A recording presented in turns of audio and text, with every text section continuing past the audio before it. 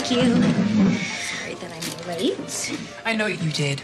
You're crazy. Oh my god, are you serious? You really already heard about that? Seriously, the gossip chain at NYADA is the most efficient part of the school. Okay, look, don't judge me. It was the right thing to do. How can you say that? Two years ago, you would have done anything humanly possible to force your way into that school, and, and now you're just gonna quit? Oh my god, that was before Fanny, okay? Everything changed from that moment on.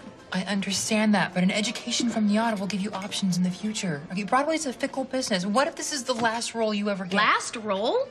Really? Wow, you are worse than Carmen. Is that honestly what you think of me? Of course not. I'm just saying you need to be smart about this. Okay, look, Kurt, I'm just not interested in spending huge sums of money on a school whose classes I can barely even attend and a dean who doesn't like me or support me. Yeah, that's not what it is. She's we just. play the what if game all day long, but the point is is that I have the opportunity of a lifetime staring at me in the face right now, and I can't let anything, whether it's it's school or Carmen or the diner or you know, even my friends, stop me from accomplishing my dreams. Okay, for the last time, Rachel, I am begging you, please don't do this. You know, I am so hurt right now that you are standing in the corner with a failure like Carmen Tibideaux and not your best friend. I'm not on Carmen's side. I'm on your side. You're afraid.